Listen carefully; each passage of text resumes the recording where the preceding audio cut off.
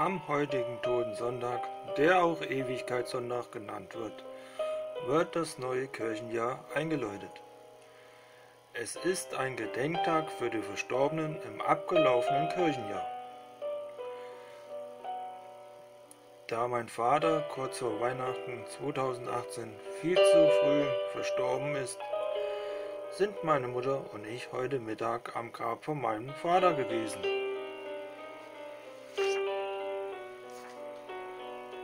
Noch was Geschichtliches. König Friedrich Wilhelm II. von Preußen führte im Jahr 1816, sprich vor etwa 200 Jahren, den heutigen Gedenktag ein.